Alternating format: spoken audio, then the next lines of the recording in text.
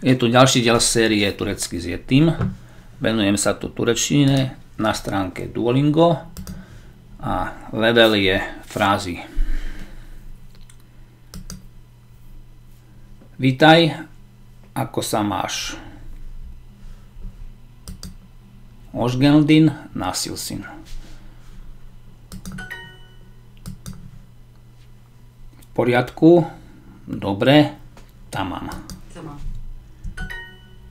Teşekkürler. Nasılsın? Ďakujem, Teşekkürler. ako sa máš? Nasılsın?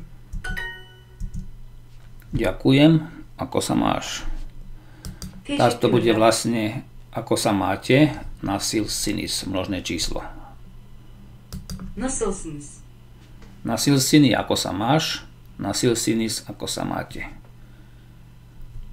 Mohol by som dať aj to, tak uvidím, či mi to uzná aj túto možnosť. Uznalo. Dobre, ja sa mám dobre. İyi. To, že ja sa mám, to vyjadruje tá koncovka im. Tešekir ederim. Vítaj, Hoş. Geldin. Ako sa máš? Opäť máme na výber dve možnosti. Teraz si dáme týkanie. Nasılsın?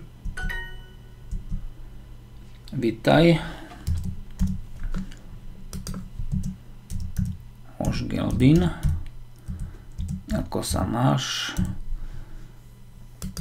Tam je to krátke i, bez bodky.